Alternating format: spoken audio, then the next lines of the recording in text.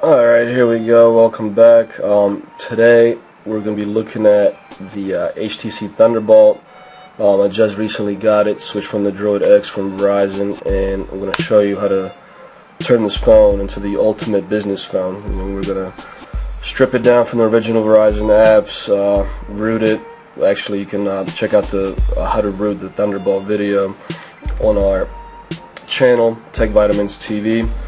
And addition, I'm going to show you what applications you should get um, that are mainly for business use. I mean, that's why I use uh, Android and why I think it's one of the best phones that came out. Um, but let's go ahead and start with the first thing that I would do. Um, first thing, before even using the phone, you got to change the keyboard because, to be honest, the keyboard um, on this particular phone is not that great.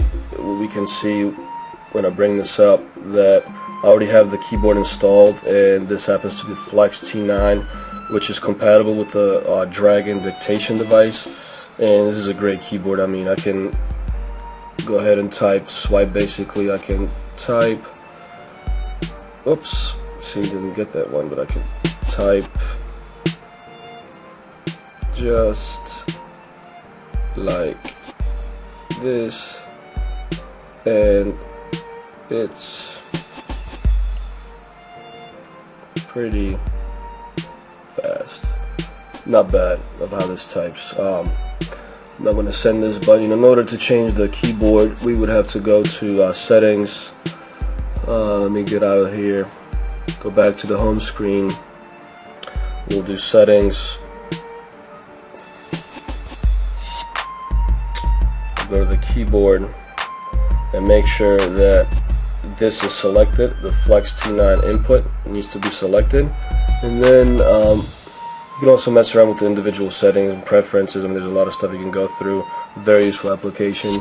But uh, when I go back to my texting application, the way you select it is you press, excuse me, press and hold the text uh, bar, and then you do input method, and then you go from touch input, which is the stock Droid or Android keyboard to Flex T9 input. So that's definitely the very first thing um, I would have done. Uh, after rooting this phone, uh, in the next video we're going to take a look at how to strip all the Verizon um, applications from this phone so you don't you know waste your processing your battery which already sucks on this phone and uh, basically just cleaned up. There's a lot of crap that Verizon installs, but you know, can't just blame Verizon. Verizon is a great network. AT&T and T-Mobile and Sprint, they all do the same thing. So I'm just going to tell you simply how to get rid of this crap.